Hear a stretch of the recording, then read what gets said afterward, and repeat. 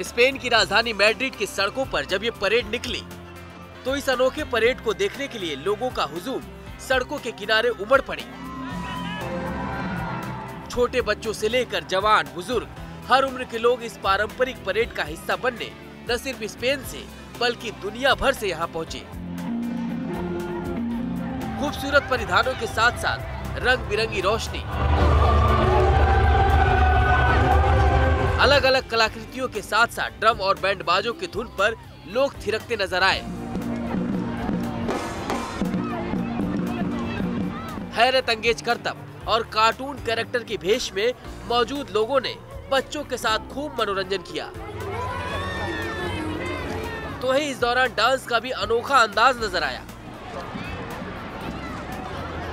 Parade में शामिल लोग इस दौरान बच्चों को गिफ्ट भी बांटते नज़र आए। इस अनोखे परेड को एपिफेनी के नाम से भी जाना जाता है। क्रिसमस के 12 दिन बाद इस उत्सव का आयोजन होता है। इसे तीन राजाओं का दिन भी कहा जाता है। यूशु के जन्म के बाद बेथलम में तीन राजाओं के आगमन पर परेड का आयोजन किया गया था और तब से ही ये परंपरा स्पेन में मनाई जाती है।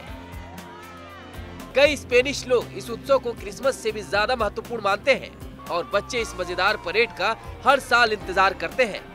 ताकि इस जोरदार उत्सव का जमकर लुत्फ उठा सके।